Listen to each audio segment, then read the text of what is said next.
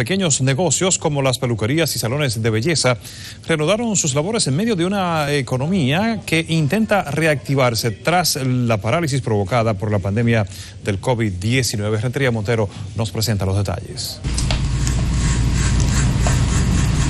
La reapertura ha sido lenta.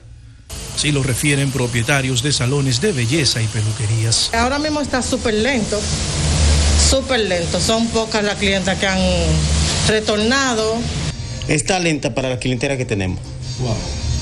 No, no va muy bien. Esperemos que pueda reactivarse. La merma en el flujo es atribuida a la parálisis económica por el coronavirus que afecta a la mayoría de los dominicanos. La verdad la gente no están no están viniendo aquí como, como, como era antes, pero estamos esperando en Dios que la cosa se mejore más.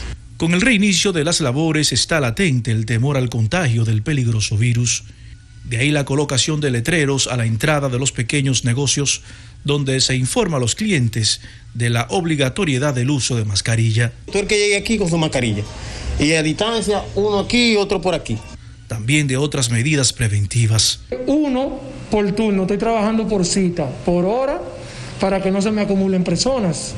La primera fase de reanimación de la economía inició el pasado miércoles 20 de este mes, donde se dispuso el reinicio de las labores de las micro y pequeñas empresas con el 50% de su personal.